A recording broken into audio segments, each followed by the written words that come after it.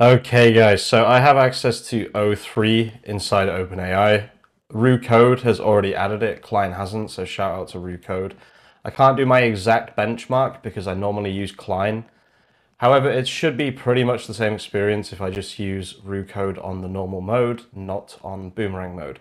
So I'm considering this to be a benchmark test for O3 by OpenAI. Let's find out if it's actually on par with Anthropic, Sonnet 3.7 and Gemini 2.5 Pro, which is what everybody's saying. But by the end of this video, we will know if that's actually true or whether it's just bullshit. Now, I'll be using my Skool community in order to get the SOP as usual. Feel free to check it out. It'll be the first link in the description. I'm basically just trying to put all of my knowledge and also other people's knowledge into a course written system. So in this course on Skool, I'll also leave this prompt in the description of the video completely for free as well. Um, but I have this SOP right here. So the first part of the SOP is open Visual Studio Code, go to terminal, new terminal, create a new Next.js app. In this case, we're going to call it O3 Rolls Royce with a Z, just because I already made an O3 Rolls Royce with an S yesterday when I was trying to test this model, but it wasn't really working, so I gave up. So we're going to be using Roo Code for this. I believe I should put this on architect mode to start with, which is pretty much the same as ask mode for the planning of this project.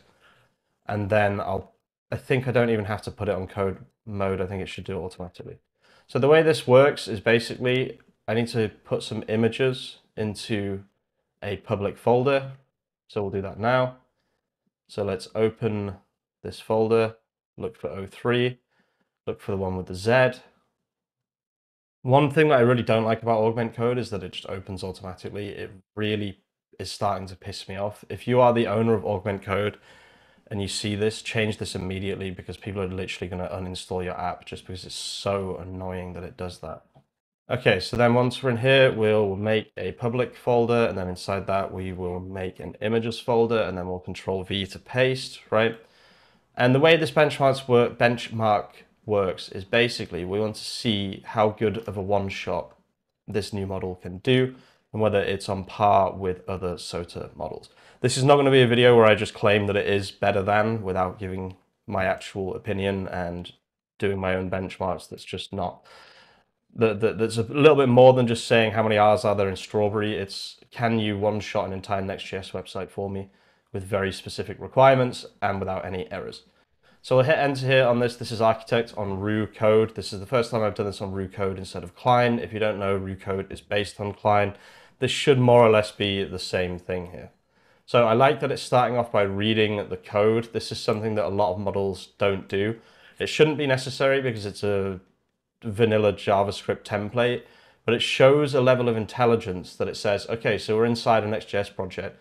What if it's what if it's got different what if it's got a different setup to what we were expecting, right? In which case they do actually need to read the model, or sorry, read the code and understand whether all of the files like nextconfig, etc., are all exactly the same, or if it's different. So I'm just going to say use uh, placeholder information uh, and give me an entire design palette according to your own discretion. So this is something else that a lot of intelligent models uh, do. They realize that there's no uh, contact details. So I've asked them to make a contact page. How are they supposed to make a contact page without contact details? So again, shows intelligence for sure. This is extremely expensive. Um, I actually don't know the pricing. I didn't actually look at the pricing. So OpenAI pricing. This looks like it might be 75 output, $75 for output. Is that what we're dealing with? Our API, where's O3? Uh, 40, yeah, it's hella expensive. But I mean, if it does it and it the thing is, right, if, if something can one-shot this, even if it's more expensive, it, you'll save money overall because you don't have to spend hours and hours and hours messing around. Now, one thing I will say is I think this is getting an advantage of using Roo Code Architect mode. I think. I would like to do this again on Cline, um, just to make sure. But this looks pretty good, to be honest with you.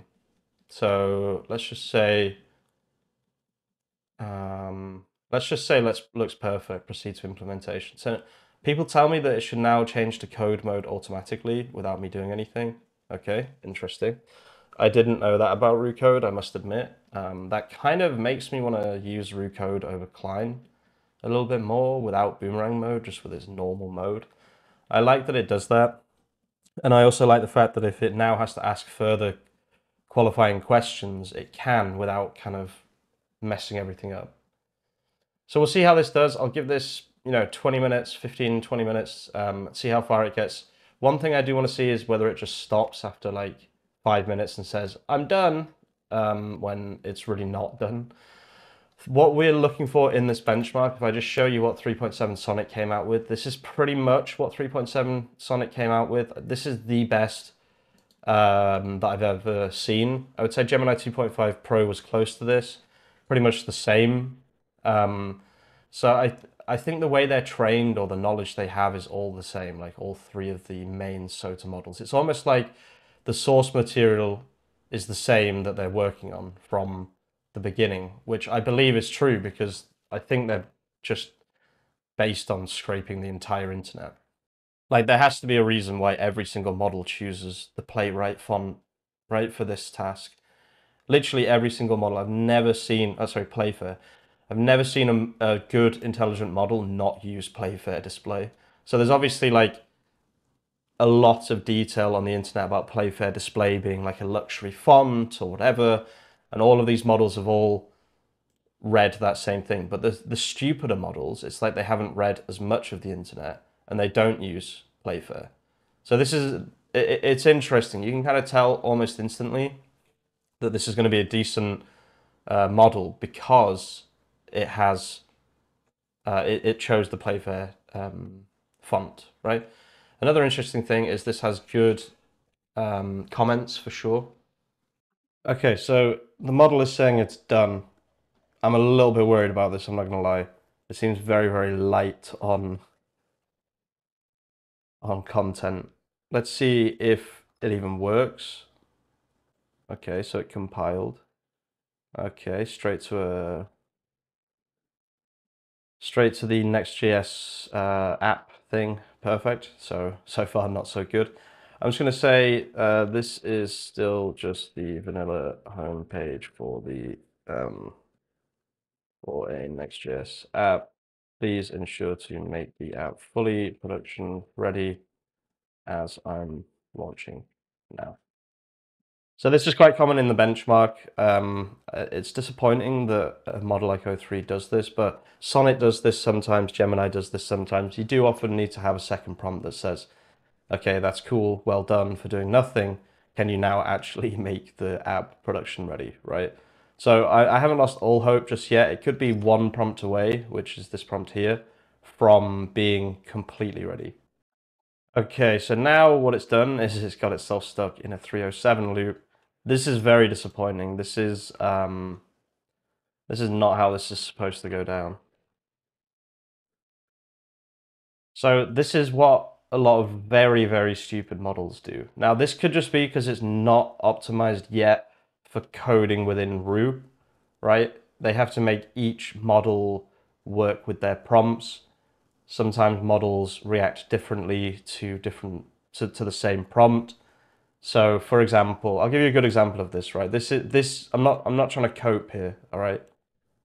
But let me just explain something, just so you guys understand why this might be happening. I'm not saying this is why it's happening, but when Sonnet 3.7 was released, obviously the first thing I did was put it inside my SaaS Harbor.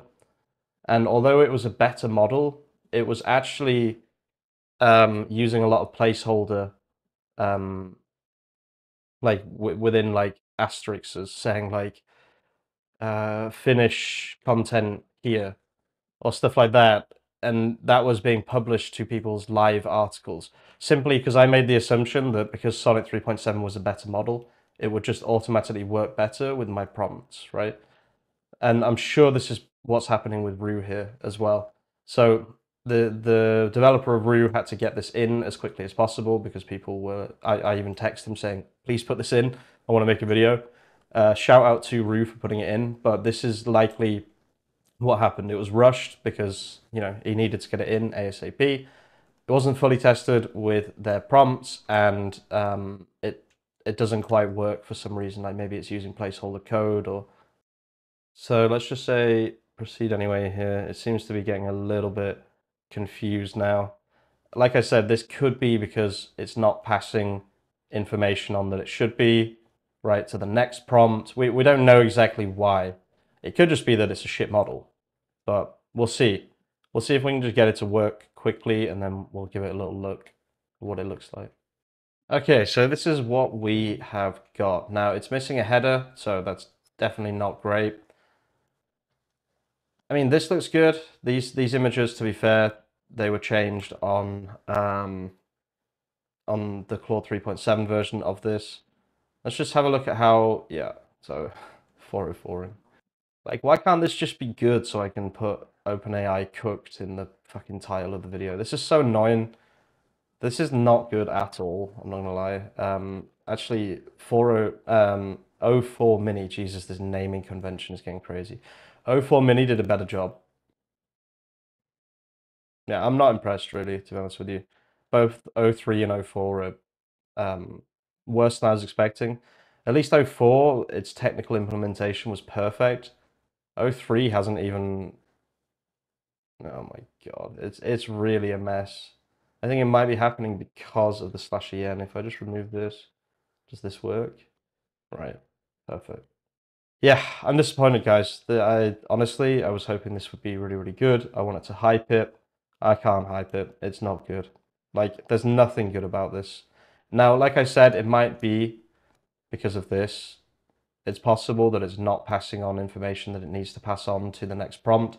This happens, like it could be using placeholder code where previously other models weren't using placeholder code, or it could just be a bad model, right?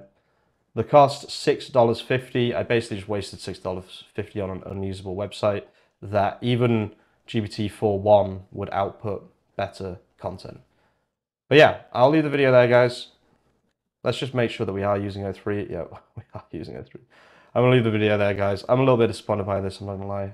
If you're watching all the way to the end of the video, you're an absolute legend, and I'll see you very, very soon with some more content. Peace out.